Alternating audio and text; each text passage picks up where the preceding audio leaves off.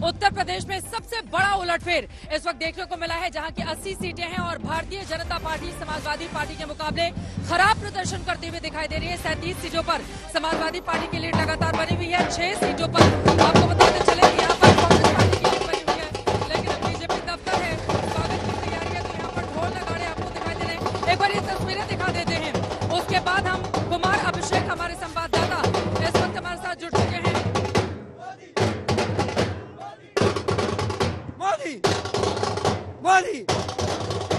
को झुकने दूँगा। ये मेरा वादा है। देश को झुकने नहीं दूँगा। राहुल गांधी। कमाल करके दिखा दिया यूपी के जनता। मुझे सबसे ज़्यादा कर अपने यूपी पे है। अखिलेश यादव और राहुल गांधी की जोड़ी ने कमाल कर दिया। यूपी में यूपी के लड़कों ने दम दिखा दिया।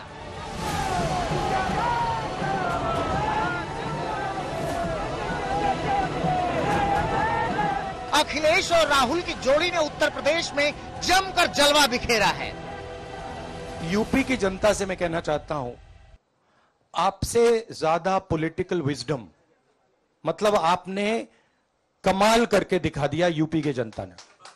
कमाल करके दिखा दिया मैं अपनी यूपी को, की जनता को ये कहना चाहूँगी कि उन्होंने बहुत ही विवेक दिखाया और मैं, मुझे सबसे ज़्यादा गर्व अपने यूपी पे है।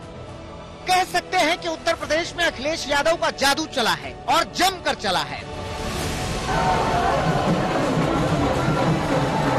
साइकिल दौड़ी है और क्या खूब दौड़ी है। और इसीलिए यूपी में समाजवादी पार्टी के कार्यकर्ता जश्न मना रहे हैं, ढोल नगाड़े बजा रहे हैं, मिठाइयाँ खिला रहे हैं। जनता चुनाव खुद लड़ी है और जनता ने भाजपा को हरा दिया है। आज जनता की जीत होगी। समाजवादी पार्टी में नया जोश नया जज्बा है क्योंकि जमाने बाद समाजवादी पार्टी ने ऐसा शानदार प्रदर्शन किया है। लेकिन समाजवादी पार्टी के साथ गठबंधन करने का फ़ायदा कांग्रेस को मिला है। यूपी में पेट के बल पड़ी कांग्रेस को संजीवनी मिली है। इसीलिए कांग्रेस के कार्यकर्ताओं में भी जश्न ही जश्न है। आपकी पार्टी जो शुरू हुई है वो कांग्रेस ने अपनी जीत पर शुरू की है और पार्टी ऑफ़िस में जा रहे हैं। जश्न मनाया जा रहा है। ये सभी इस समय राहुल गांधी फैजाबाद के नारे लगा रहे हैं। क्या कहेंगे? पटाखे फोड़े जा रहे हैं जश्न मनाया जा रहा है। पूरी तरीके से देश में जश्न मना रही है पूरी जनता बना रही है कि अपनी जनता ने चुनाव लड़ा है। काशी में बीजेपी ने जिस तरह का माहौल बनाया था उससे लगा था कि नरेंद्र मोदी बहुत बड़ी जीत दर्ज करेंगे लेकिन ऐसा नहीं हुआ। इसीलिए उनके सामने कांग्रेस के प्रत्याशी अजय राय पीएम पर निशाना साध रहे हैं। मोदी जो बड़ी बड़ी बात करते थे दस लाख पार दस लाख पार भाजपा के लोग वो हवा निकाल दिया काशी की जनता ने इसलिए धन्यवाद की पात्र है। अजय राय इसे पीएम की नैतिक हार बता रहे हैं और इस्तीफे की मांग कर रहे हैं। ये मोदी की नैतिक हार है। प्रधानमंत्री जिन्होंने हज़ारों हज़ार करोड़ का काम किया तमाम बड़ी बड़ी बातें कहीं जब आते थे पाँच हज़ार ले लो दो हज़ार करोड़ जैसे लग रहा खैरात बांट रहे थे और बनारस को टोटो दिया माँ गंगा के साथ भी उन्होंने झूठ बोला माँ गंगा के साथ भी उन्होंने जो है केवल उनको कहा कि माँ गंगा ने गोद लिया झूठ बोला माँ के साथ ये उनकी नैतिक हार है उनको इस, इस्तीफा देना चाहिए।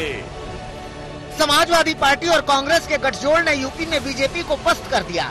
कहा तो बीजेपी ने टारगेट रखा था यूपी में सभी 80 सीटें जीतने का और कहा 2019 के मुकाबले आधे अंकों तक ही बीजेपी सिमट गई।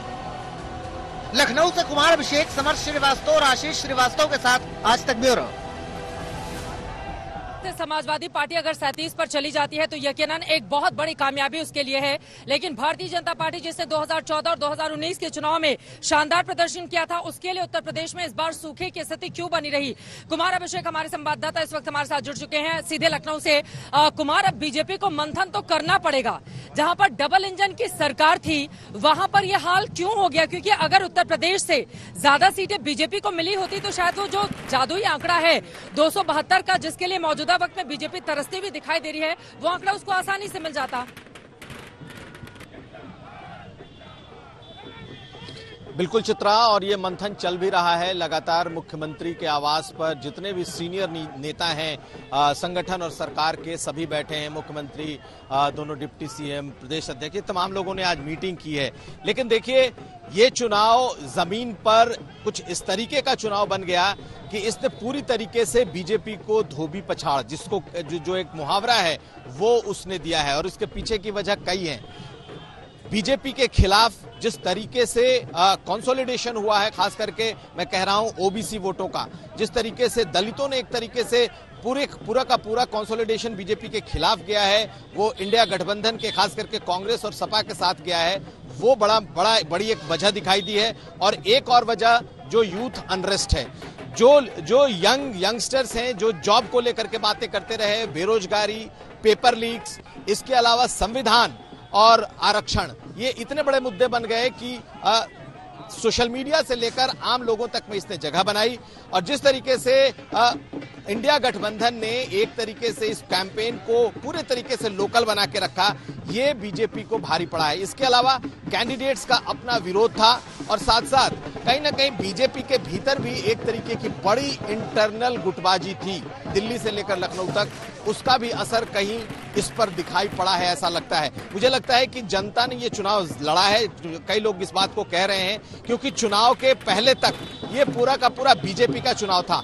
लेकिन जैसे ही चुनाव शुरू हुआ, पहले फ़ेज़ के बाद से ही आप देखेंगे कि ये पूरा का पूरा चुनाव इंडिया गठबंधन की तरफ़ शिफ्ट होता हुआ गया और कई कैंडिडेट्स ने खास करके राघव लखन पाल इस, इसके अलावा अयोध्या से लल्लू सिंह ऐसे कैंडिडेट्स ने ये बात कही है कि जो आरक्षण और और संविधान समाप्त करने का मुद्दा दलितों में गया है इसने बहुत नुकसान किया है। और कांग्रेस और समाजवादी पार्टी खास करके राहुल गांधी और अखिलेश यादव की जो जोड़ी है उसका जो जल रहा पॉलिटिकल उसने काम किया है। मुझे लगता है कि बीजेपी के लिए यूथ अनरेस्ट ओबीसी और दलित कार्ड ये बीजेपी को भारी पड़ा है और जनता ने चुनाव लड़ा है। चित्रा।